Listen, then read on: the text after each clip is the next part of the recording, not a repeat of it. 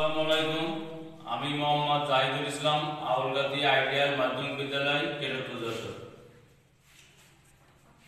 প্রিয় শিক্ষার্থী বন্ধুরা, আশা করি তোমরা সবাই ভালো আছো। আজকে আমি তোমাদের যে বিষয়টা নিয়ে আলোচনা করব, এটা হলো অষ্টম শ্রেণির গণিত ক্লাস। আমি ষষ্ঠ অধ্যায়ের সরল সহজ সমীকরণ এই বিষয়টির উপরে আলোচনা করব। তোমরা অতীতে ষষ্ঠ, সপ্তম শুনেছ যে গাণিতিক সমস্যা সমাধানে সমীকরণের ভূমিকা গুরুত্বপূর্ণ। আমরা ষষ্ঠ সপ্তম শ্রেণীতে একশো বিশিষ্ট সরল সরল সমীকরণ শিখেছি, আর সপ্তম শ্রেণীতে সমীকরণের পক্ষান্তর বিধি, বর্জন বিধি আর্গুণ বিধি সম্পর্কে জেনেছি। তা আমরা আজকে এই অধ্যায়ে কি শিখব? এই অধ্যায়ে শিখব যে দুই চলক বিশিষ্ট সরল সমাধান কীভাবে করতে হয়, সেটা নিয়ে আমরা আলোচনা করব। দেখো, এটা দুই পদ্ধতিতে দুই পদ্ধতিতে এই সমাধান করা যায়। এক হলো প্রতিস্থাপন পদ্ধতি, আর একটা হলো অপনয়ন পদ্ধতি। আমরা প্রতিস্থাপন পদ্ধতিতে কীভাবে আসলে সমাধান করতে হয়, সেটা শিখব। প্রতিস্থাপন মানে একটা যে কোনো বিষয় স্থাপন করতে হবে, এটা হলো প্রতিস্থাপন পদ্ধতি। এই প্রতিস্থাপন পদ্ধতিতে সমাধান করতে গেলে কি করতে হবে যে আমাদের যে কোনো সমীকরণ এক অথবা দুই যে কোনো সমীকরণ থেকে আমাদের তৃতীয় একটা সমীকরণ তৈরি করে নিতে হবে।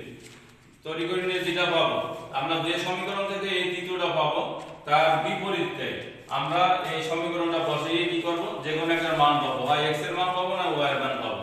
পরবর্তীতে যে এক দুই এবং তিন যে কোনো সমীকরণে আমরা সেই মানটা বসিয়ে অন্য মানটা পেয়ে যাব তো এখানে আমাদের x এর মান বের করতে এবং y এর মান বের করতে তো দেখো প্রিয় শিক্ষার্থী বন্ধুরা, এখানে এক নম্বর সমীকরণটা কি আছে? X y 4 এবং x y 2 তাহলে এটা এক নম্বর সমীকরণ, এটা হলো দুই নম্বর সমীকরণ। তো দেখো আমরা এক নম্বর সমীকরণ থেকে বের করেছি, তিন নম্বর সমীকরণ। এক নম্বর সমীকরণ থেকে পাই, তাহলে এক নম্বর সমীকরণটা হলো x y 4 তাহলে by x তাহলে 4 plus y বারে গেলে কি মাইনাস y হয়ে গেল। তো দেখো এখানে একটা সমীকরণ রয়েছে যে x 4 মাইনাস y, আমরা কিন্তু ডাইরেক্ট y এর মান পাইনি, আমরা একটা সমীকরণ পাইছি। দুই নম্বর সমীকরণে আমরা x এর মান বসিয়ে পাই। তো দুই নম্বর সমীকরণটা কি? x y 2 তা এখানে বা তাহলে x এর মান আমরা আগে কি সমীকরণটা কি পাইছি? যে x 4 y তাই দিছি x x এর স্থলে 4 y দিছি y 2 বা 4 2y 2 বা মাইনাস 2y 2 পক্ষান্তর হয়ে গেল, তাহলে 2 প্লাস 4 এর মাইনাস 4 হয়ে গেল। তাহলে বা মাইনাস 2y মাইনাস 4 থেকে 2 বাদ দিলে মাইনাস 2 থাকল। আমরা উভয় পক্ষে মাইনাস থেকে কি করতে পারি? আমরা কেটে দিতে পারি তো মাইনাস মাইনাস কেটে গেল। তাহলে y 2 বাই 2 ইকুয়াল টু তাহলে y 1 পেলাম আমরা।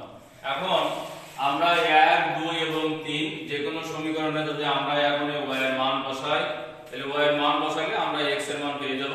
তা আমরা, দেখো 3 নম্বর সমীকরণ এটা বসালে আমাদের সহজ হবে। কারণ 3 নম্বর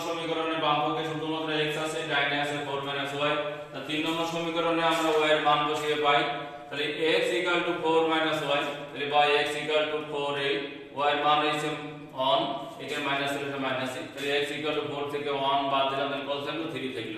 তাহলে x থেকে আমরা পেলাম এখন কত 3 পেলাম।